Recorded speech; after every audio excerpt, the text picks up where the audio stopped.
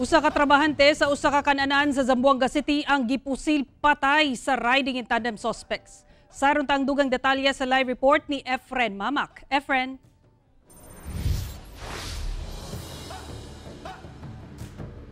Yes, uh, Sara, sa inisyal nga investigasyon sa kapulisan, away sa trapiko ang anggulo nga ilang uh, gitutukan. Gilayon usab nga misibat ang mga sospek sakay sa ilang uh, motorsiklo. Sa kuha sa CCTV sa barangay Santa Maria, Zamboanga City, giduol sa angkas sa riding in tandem suspect o gidulit ang pagpusil patay sa 28 anyos nga biktima nga si Arthur Aslafar.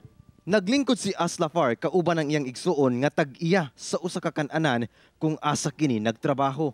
Dead on the spot ang biktima sa igo sa pusil sa iyang abaga nga milahos padulong sa tiil. Matod sa mga nakakita, gihagad pa sa biktima ang sospek nga mupalit sa ilang baligya nga pagkaon. Apan, kalit lang nga mipabuto sa iyang pusil ug misibat dayon. Um, pagsulod niya diri kay every time na imong sulod tao, so matik na na, na customer. So amo siyang gikuan. Sir, inasal sir. Diretso lang siya. Later, seconds lang, buto na. Kampante kayo ang iyang gibutan. I don't know kung mistaken identity pa. Sa paunang investigasyon sa kapulisan, posibleng away trapiko ang hinungdan kuno sa pagpamusil.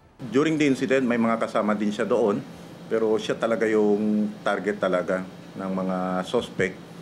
Kaya tinitignan din namin, pinoprofile din namin na kung itong ano ba yung naging ah, trabaho ba ng biktima o ano ba yung mga posible na pwede mangyari dito, ito, especially dito sa insidente.